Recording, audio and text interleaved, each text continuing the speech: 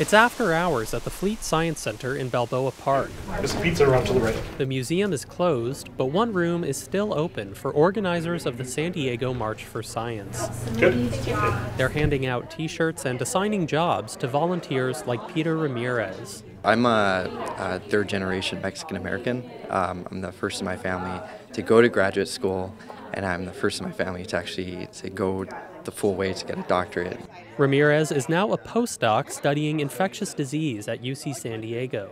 I just feel that it's really important for me to be a voice to kind of speak out to those people who are scientists, but not only that, but to my fellow people um, who are not scientists, and that's most of my family. This is going to be a peaceful environment where everybody's going to try to get along. The organizers want this to be a nonpartisan demonstration. I don't anticipate a lot of protesters. It's a march for science, they stress, not a march for liberals or against conservatives. This is a free speech event, and there are people who have contrary opinions to our own. But lead organizer Melissa Slawson admits the march was set in motion by one particular political event. Had things been different in November, most likely marches like this probably wouldn't be being organized right now, I'm, I'm assuming. If Hillary had won. If Hillary had won.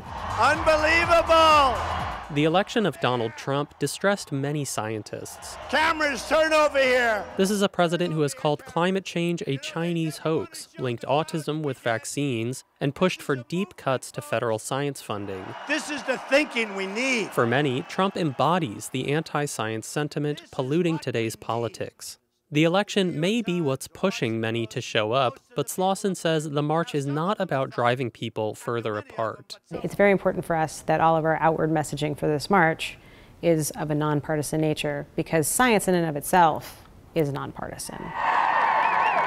The March for Science was inspired by the success of the Women's March, held just after Trump's inauguration. Women's rights are human rights. In San Diego, marchers will be literally following in the footsteps of the Women's March. The event also begins at Civic Center Plaza and ends at Waterfront Park. At both ends, speakers will talk about why they're standing up for science. A lot of carbon dioxide from coal and One of them will be Ralph Keeling, a climate scientist at the Scripps Institution of Oceanography. Here's the 400 mark that we crossed some years ago. He maintains the Keeling curve, a record started by his father in the 1950s to plot carbon dioxide concentration in the Earth's atmosphere over time. So it shows this relentless rise uh, and, and there's no doubt that that rise is driven mostly by fossil fuel burning. So it's kind of the smoking gun for a human imprint on the whole planet. Keeling says one of the reasons he's marching is to preserve science as a viable career path for young people. The federal funding of science has had a huge impact on where this country stands in terms of prosperity and opportunity and our position in the world. And uh, that's been true for the last century, and we hope it'll continue to be true in the future. Many scientists will join Keeling in the march, but some plan to stay home. I think scientists are lost now. Where do we fit in? Ram Ramanathan, another Scripps climate scientist, says he's sympathetic to the aims of the march, but he worries it could alienate those who already perceive scientists as politically biased. Lately, Ramanathan has been focused on outreach, trying to convince political and religious leaders about the seriousness of climate change. He wants not only liberals, but conservatives to see him as a neutral expert who can explain climate science without any political agenda. If I participate in the March for Science, I'm concerned I would lose that neutral voice.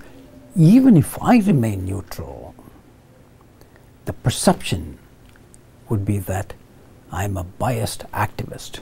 Spread the word! San Diego March organizer Melissa Slawson says it'll be a tricky balancing act, keeping the march nonpartisan while also seizing on the momentum created by the Women's March. It is, it is a tough act to follow, and we're definitely not trying to follow them in that sense. You know, we, we are a different march, though I think some of the sentiment is the same. Kind of gauge what's going on with the crowd. Organizers are not expecting Women's March level turnout, but close to 10,000 Facebook users have expressed interest in spending their Earth Day marching for science in San Diego. Is anyone super pumped? David Wagner, KPBS News.